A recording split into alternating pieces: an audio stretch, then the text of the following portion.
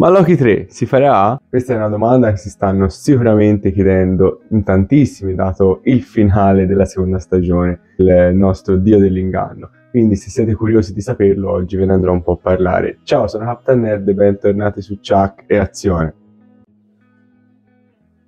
Dunque, che dire, che dire, finalmente la seconda stagione di Loki è giunta al termine e ci ha lasciato un po' sorpresi, sorpresi perché? Perché il nostro grandissimo dio dell'inganno ha praticamente salvato il multiverso, riuscendo a trascendere nel tempo e nello spazio e diventare finalmente una divinità più in alto di tutti gli altri che riesce comunque a manipolare il tempo.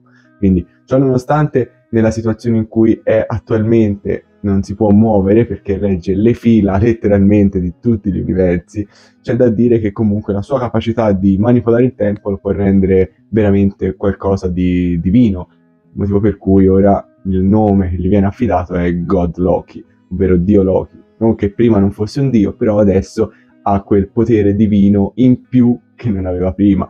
E è stato un finale veramente incredibile e sconvolgente che ci ha suscitato molte domande, tipo ma Loki 3 si farà? Perché ad un'intervista il nostro Tom Hiddleston ha detto che questa è una sorta di conclusione per il suo personaggio e anche come serie tv si può dire che non ci sia un finale aperto e nemmeno una post credit e quindi si presume dati tutti i tasselli che ci hanno praticamente fornito che un Loki 3 non si farà. E quindi, ragazzi, questa era l'ultima volta che avremmo potuto vedere quel Loki in questa serie. Ho detto quel Loki perché probabilmente attraverso il multiverso lo ritireranno fuori da qualche linea temporale.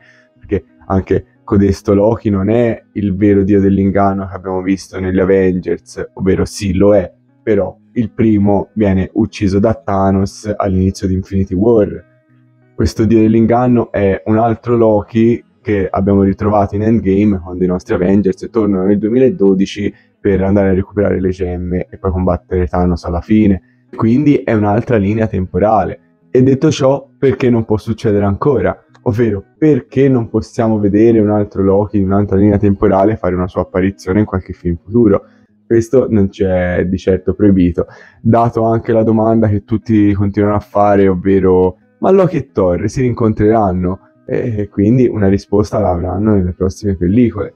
Ciò che mi rende anche molto affascinato da questo finale di stagione è stato anche il fatto che può essere inteso come metafora ehm, facendo riferimento a vari avvenimenti delle scritture norrene. Infatti eh, in queste vi è la dea Sky che imprigiona Loki e gli mette un serpente in testa eh, il sangue e il veleno di questo serpente, gocciolando sulla fronte del nostro Dio, eh, non fa altro che provocargli torture e dolori. C'è sua moglie che comunque mette questa bacinella per cercare di alleviargli il dolore facendo scivolare il veleno dentro di questa bacinella. Però una volta che il veleno fuoriesce perché la bacinella è piena, il nostro Loki continua a soffrire. E questo può essere inteso come metafora di tutto il peso che il nostro dio dell'inganno decide di accollarsi nel finale di stagione, perché non pensate che lui stia lì a reggere sti fili senza avere nessun tipo di dolore, perché lui è lì, non può muoversi da lì, deve tenere questi fili.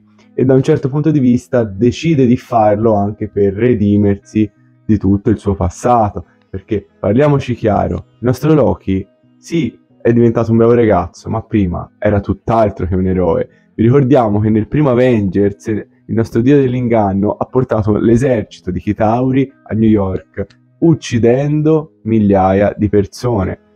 Migliaia di persone. E prima ancora, nei primi film di Thor, non ha fatto cose buone. Quindi, ragazzi, sarà anche cambiato, però questa è una sorta di redenzione e decide lui di farla quindi non c'è veramente niente da dire a riguardo alla fantastica evoluzione che ha avuto questo personaggio che è iniziato in un modo, è finito in un altro, c'è stata una grandissima trasformazione con una redenzione sul finale che ha praticamente reso la, la sua stagione standalone penso la migliore di tutto il Marvel Cinematic Universe, dato tutti i, i problemi che stanno dando le altre serie TV. Quindi ragazzi, io voglio sapere anche voi cosa ne pensate della seconda stagione di Loki e se vi sareste aspettato una terza oppure se secondo voi fanno bene a concluderla qui. In ogni caso, in un modo o nell'altro, un Loki lo ritireranno fuori nelle prossime pellicole per forza. o faranno riferimento a lui facendocelo vedere lì che regge questi fili, oppure lo tireranno fuori da una linea temporale. In ogni caso, probabilmente tornerà. Io vi ringrazio per aver seguito questo video, vi ricordo di seguirci su Instagram e Facebook e iscrivervi anche sul nostro canale YouTube cliccando sulla campanella che è sempre una cosa importantissima. E da Captain Nerd qui oggi è tutto e noi ci rivedremo presto a un prossimo video. Ciao a tutti ragazzi!